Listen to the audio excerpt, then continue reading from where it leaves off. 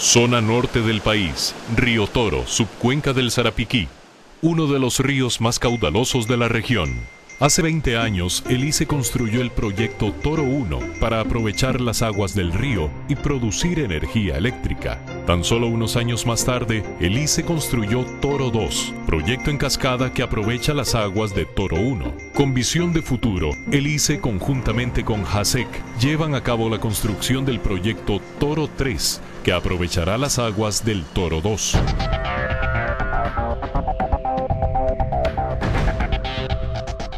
Este proyecto generará 46 megawatts a partir de febrero del 2013, lo que beneficiará a 65 mil hogares en el país y vendrá a soportar la demanda energética que incrementa a un 5% anualmente.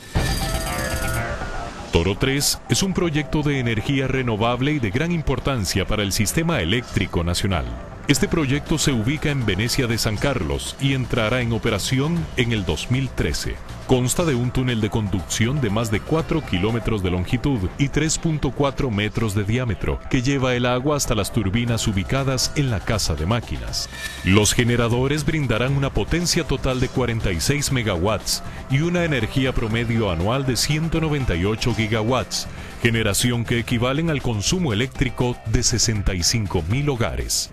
La construcción de Toro 3 ha traído además beneficios a las comunidades. El beneficio que nos ha traído el ICE a esta comunidad es mucho, porque tenemos bastantes obras que nunca los hubiéramos tenido, como es esta escuela que tenemos, este, muy bonita, grande, cómoda.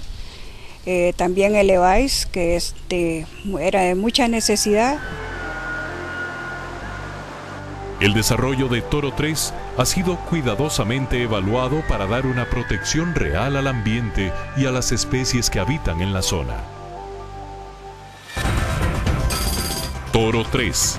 Energía limpia producida en armonía con la naturaleza. ICE. Comprometido con el desarrollo social y económico de Costa Rica.